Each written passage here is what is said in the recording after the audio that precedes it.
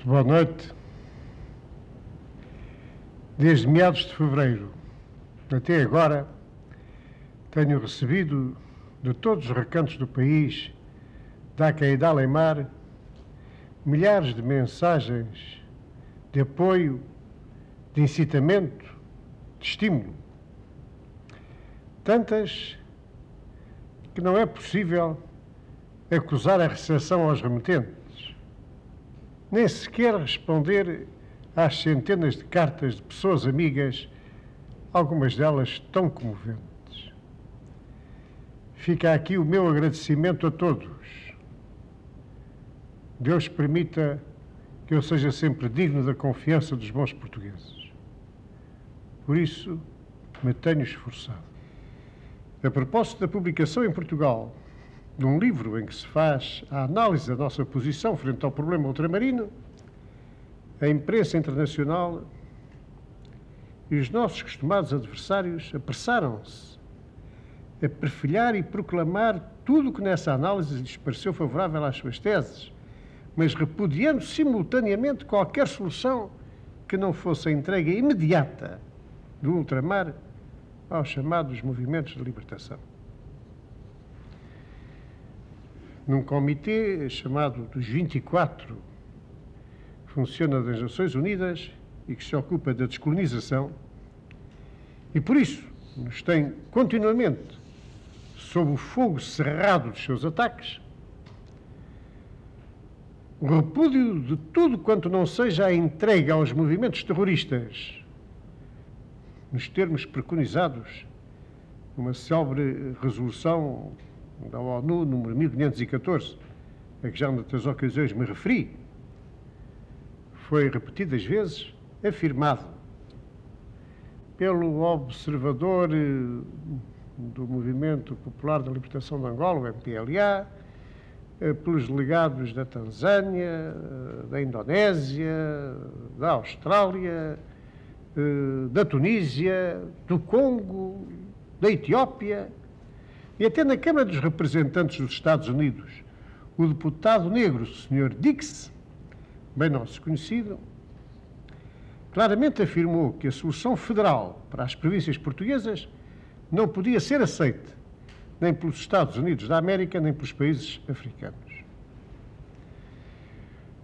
no que todos os estrangeiros desejosos de nos ver despojados do ultramar jogam é no colapso da retaguarda em Portugal. Isso viu-se no entusiasmo com que os meios de informação de tantos países seguiram e avolumaram o triste episódio militar que a irreflexão e talvez a ingenuidade de alguns oficiais lamentavelmente produziu há poucos dias nas Caldas. Ficou, através desses meios de informação, o um mundo melhor informado do que se passa em Portugal? Há por aí frequentes queixumes de que não temos por cá uma informação completa.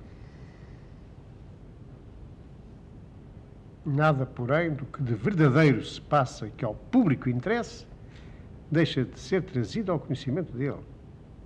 Mas não é informar bem o público, deitar mão a todos os mexericos, a todas as intrigas, a todas as fantasias ouvidas nas mesas dos cafés ou a algum intrujão imaginativo para as deitar cá para fora como grandes e sensacionais revelações. Voltando ao, ao alvoroço de certos meios de informação estrangeiros, quando vislumbraram uma divisão das Forças Armadas em Portugal, não acham que é motivo de meditação? Há pouco referi-me à irreflexão dos oficiais que se lançaram na aventura de há dias. Irreflexão por não considerarem que, em tempo de guerra subversiva, toda a manifestação de indisciplina assume particular gravidade. E reflexão por não terem em conta que há manobradores políticos cá dentro e lá fora prontos a explorar todos os episódios de que possam tirar partido para cavar dissensões internas e minar os alicerces do Estado e fazer beneficiar interesses do estrangeiro.